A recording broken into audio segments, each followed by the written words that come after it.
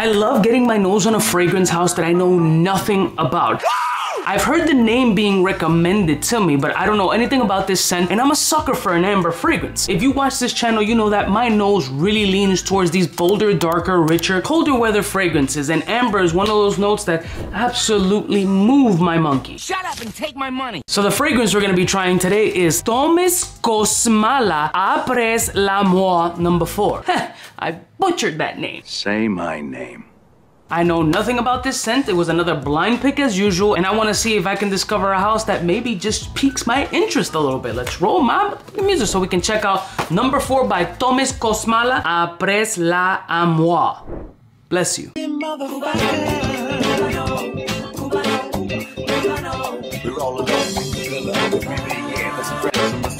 In case you cared, out of all your friends, I wanna be.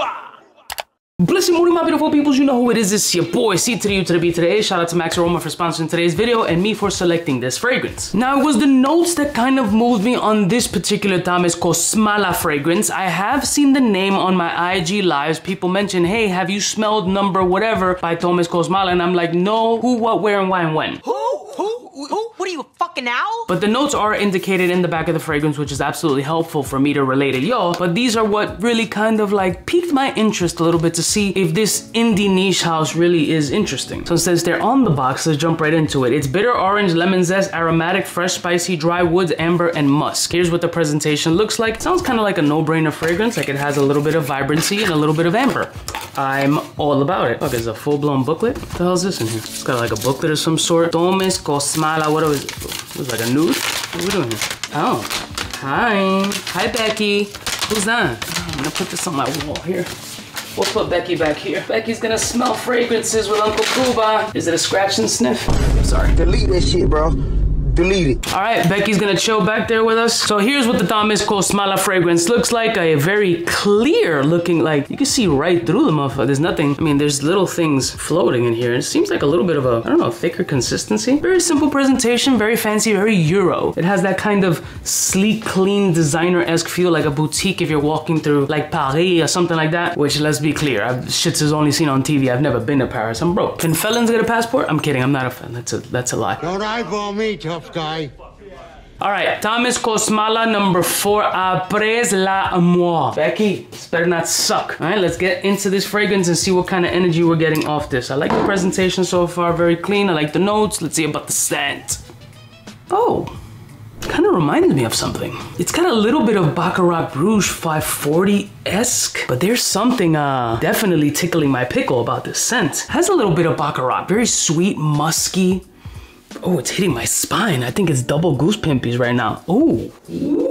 It is sweet, candied, very musk forward. The sugary amberness does kind of BR540 it for me. A little bit. I wonder if it's supposed to, maybe it's, could be me. I don't know. Pretty decent atomizer. Yeah, good distribution on that atomizer. Let me air it out a second. I don't want it all up in my face and eat it. Been happening a lot lately.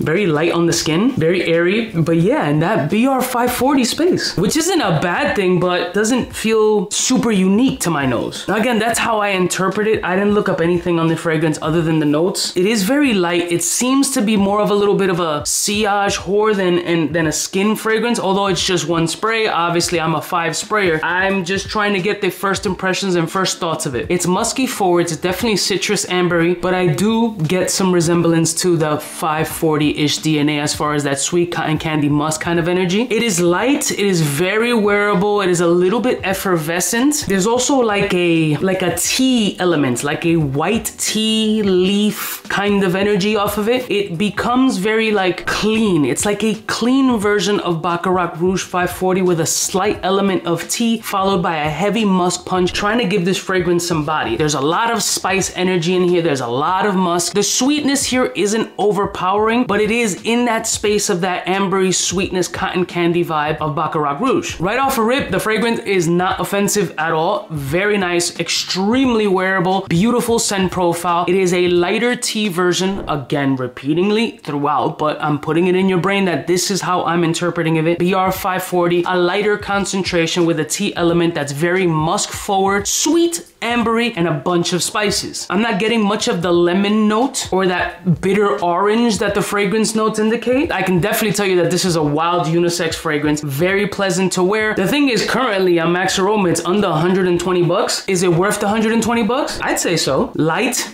sweet, very musky. The performance is not amazing unless it's one of those fragrances that is light on me and everybody else can smell it. Obviously, I can't determine it. This is a first impressions. But the scent profile itself, very nice, very sexy, super unisex, musky, sweet, tea-ish type vibe. It's really nothing more to say about this scent profile. I wish it was a little bit more unique to my palette, but I don't think for 115, 120 bucks, anybody's really gonna be offended by this fragrance at all. And if you don't wanna spend the extra hundred and some odd dollars to get a Baccarat Rouge in gray market, but want a softer take of that scent profile that will get you compliments, but potentially doesn't have the same performance, this might be something to look at. I'm interested to see other fragrances from this brand for sure. I like what they tried to do here, and I think it's a very sexy slash handsome scent profile, but it didn't absolutely blow my nuts away. For me, it's a good half a ball spray, and that's what I'm gonna do.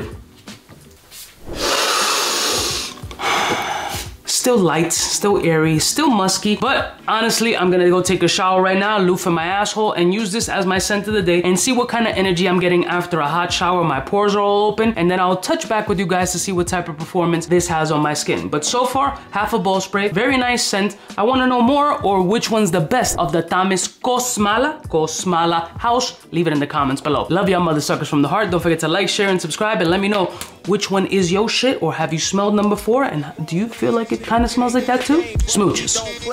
Hey, for all the chicks that got dead in the penthouse suite on top of my mom's crib. It's nonsense you never get in. It's nonsense that you would think that you would.